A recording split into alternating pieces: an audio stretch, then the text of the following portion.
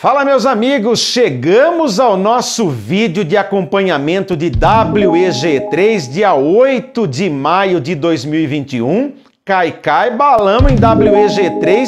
Fique até o final porque temos muitas informações interessantes para você que pensa em comprar WEG3 ou mesmo está posicionado, ok? O papel nesta semana caiu 4,5%, fechou o pregão de sexta-feira a R$ 33,42. Iremos compartilhar com vocês estratégias neste vídeo. E é claro que já que estamos falando de estratégia, estaremos falando de estratégias durante o vídeo, é claro que vou incluí-los no convite para estarem comigo no dia 20 de maio, quinta-feira, no período noturno, para a 18ª turma do curso de análise técnica do canal Milhão tem sido vibrante, eu diria para vocês, as turmas têm lotado. Se você tiver interesse, entre em contato conosco pelo WhatsApp que está aparecendo abaixo do seu vídeo, ok? Iremos compartilhar as melhores ferramentas de análise técnica atuais, incluindo as que nós utilizamos aqui no canal Milhão e também psicologia das massas e psicologia de mercado, algo que movimenta a bolsa de valores e que você ainda não enxergou. Bora pro vídeo, meu amigo do milhão.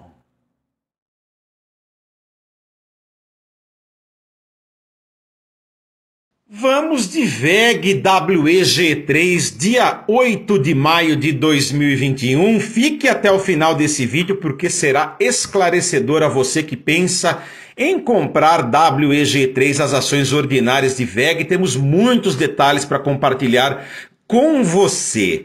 Então, amigos, o que, aconteceu na semana passada? Nós havíamos identificado nos dois últimos vídeos algo parecido com um topo triplo e nós desenhamos um alvo técnico que foi atingido nessa semana aos arredores de R$ 33,90. O preço de WEG3 fechou a R$ 33,42 Viés de baixa, estou preocupado com WEG3. O OBV vindo com tudo para baixo, o que é um tanto quanto difícil, um momento de fato difícil para WEG3. O que nós esperamos para a semana que vem?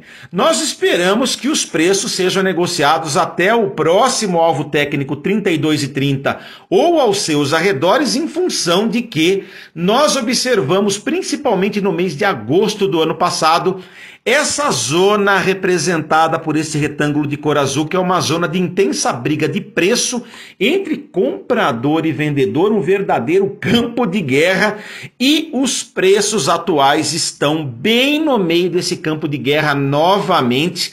E a análise técnica, eu costumo dizer nos nossos cursos quinzenais que ela tem memória de elefante, vocês podem ter certeza que esta zona aqui como diria o indicador Ishimoku, é uma zona de resistência, ou melhor, de suporte, né? Porque é uma zona de fundo de gráfico, então uma zona de suporte bastante importante em WEG3. Se escapar desse suporte 32 e 30, o próximo alvo técnico pode tomar nota, é R$ 30,19, representado por esta linha vermelha congruente com a mínima aqui do dia 21 de setembro do ano passado, ok? Então, fizemos agora um resumo do vídeo passado. A gente vai, é claro, ampliar esse gráfico e trazê-lo para o swing trade para vislumbrarmos aqui movimentações para a semana que vem, hein? Vamos começar a avaliar os indicadores técnicos agora em IFR, Índice de Força Relativa.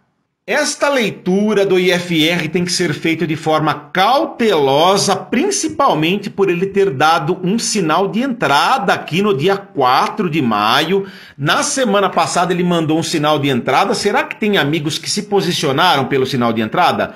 Postem nos comentários, ok? Porque o sinal de entrada foi válido. A gente não vai questionar o IFR porque ele costuma dar poucos sinais, mais sinais demasiadamente robustos e a história prova isso. Nós estamos há 10 anos avaliando o IFR, porém ele deu o sinal de entrada, quem entrou está posicionado, só que ele aponta para baixo.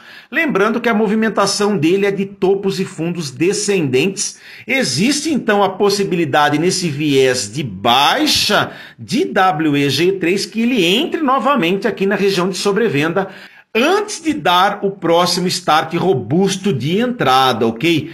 Quando tem-se um topo triplo, o mercado, principalmente os investidores que operam por análise técnica, ficam cautelosos e ressabiados com o papel. É o que estamos verificando em WEG3. Em apesar das notícias ótimas vindo da empresa, o papel está num viés terciário de baixa, não se esqueçam disso, ok? Então a gente vai agora para o momento e na sequência MACD e estocástico, que são três ótimos sinalizadores de entrada no swing trade. O que será que eles vão nos dizer nesse dia 8 de maio, hein? Bom, o momentum já está na tela e ele também faz uma movimentação de topos descendentes apontado para baixo, se distanciando da linha do zero. Por ele, então, não tem sinal de entrada na semana que vem em WEG3. A gente vai ser categórico, indo direto para o MACD. Temos na tela MACD, muita calma nessa hora também, ok? Principalmente na observação do histograma, porque é ele que é o responsável pelo sinal antecipado de inflexão de preços no sentido de valorização. Estamos avaliando as ações ordinárias de VEG SA, WEG3, e o que eu percebo é que, referente aos pregões de quarta, quinta e sexta-feira, vou até tomar a liberdade de incluir também os demais dias da semana com relação à observação do histograma, das colunas do histograma, praticamente na mesma altura, o que nos denota momentaneamente uma neutralidade desse indicador. A linha azul não cruzou de baixo para cima a linha vermelha, então não tem sinal, aquele sinal clássico de entrada do MACD em WEG3, então eu diria para vocês que, em função da amplitude aqui das colunas, fica complicado entrar neste papel pelo MACD e lembro vocês que, de acordo com a literatura técnica, ele não é indicado para ser utilizado sozinho, ele tem que ser combinado com outro indicador. Será que o estocástico combina com ele? A gente vai ver agora porque eu acabei ficando curioso a respeito desse indicador. E meus amigos, hein? Vejam só o que é análise técnica, né? O discurso foi confirmado pelo indicador estocástico. Vejam que ele está na porção inferior, porção de sobrevenda. Não tem sinal de entrada também por ele. Então você que pensa em comprar WEG3 porque está barato, preste atenção porque nos próximos dias ou semanas você poderá comprar muito mais ações pagando menos. Entendeu a jogada? Por enquanto não tem sinal de entrada, o viés é de baixa. É isso que eu quero compartilhar com vocês. Será que valeu a pena, amigos? Se valeu, se inscreva no canal, ative o sininho de notificações. Toda semana nós estamos aqui com WEG3 e todo dia tem vídeo novo no canal e quinzenalmente tem os cursos de análise técnica do canal Milhão, que tem trazido muita gente, turmas lotadas. Entraremos na 18ª turma no dia 20 de maio entre em contato conosco para aprender um pouco mais sobre análise técnica, psicologia de mercado e psicologia das massas, algo que movimenta o preço das ações e que você tem que saber, ok? Abraço, tchau!